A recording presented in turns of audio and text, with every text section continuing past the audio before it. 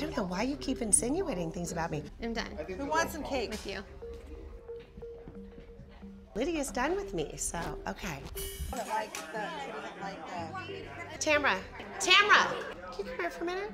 Why I this know is really good. like the. Now. Okay, okay. Thank you. See you. Thanks for coming. That is really good.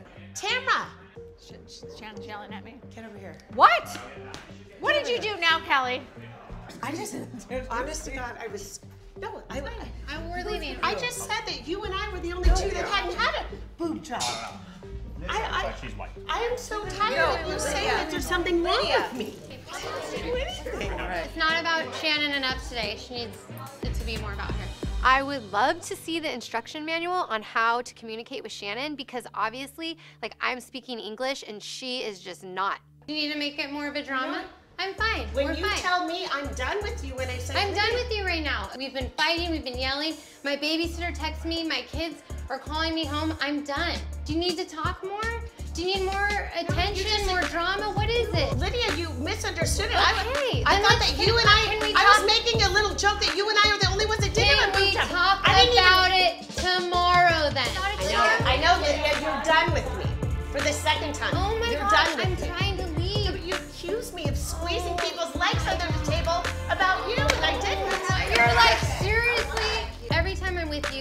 Like it's a drama. Every time.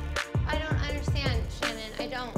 I don't either, Lydia, because I wasn't talking about you don't were think- I- squeezing legs under the table I- about you it. were. You just said you were had an explanation for why you were squeezing Because legs. Peggy was saying things about me, and it was bothering me. It had nothing to do with you. It did. Nothing.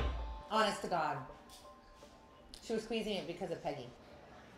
Go ahead and go, Lydia. I get it. No, I'm not leaving if you're crying good. on account of me. I'm not gonna leave. i'm was. not crying. I get upset when people accuse me of things that is are so off base. I was just making a joke that you and I hadn't had a boob job, and then you go, "Well, you heard me tell Tamara." I, I had no idea you'd had a boob job. Like I'm- was making a joke that it was like a common bond you and I had. I never got away, walked away from that table thinking you and I had any issue at all.